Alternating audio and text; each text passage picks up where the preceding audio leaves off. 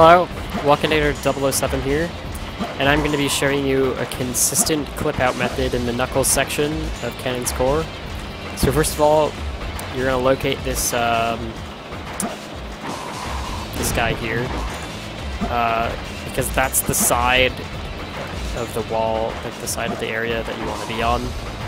And you go over to this wall, uh, and wow, I'm already perfectly lined up, I think maybe slightly too far to the right. Yeah, that was good. Uh, so you want the you want to look at the texture at the back of the wall when you're climbing on it. You want Knuckles' hammer glove things to be in the lighter gray part and his digging claw to be in the darker gray part. And then you just climb straight down. I was slightly too far right there, I think.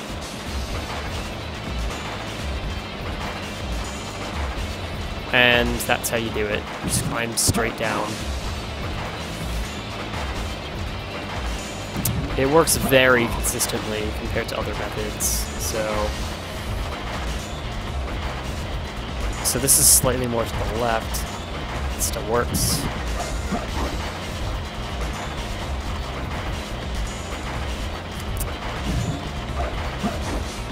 So yeah, you can see it's pretty consistent.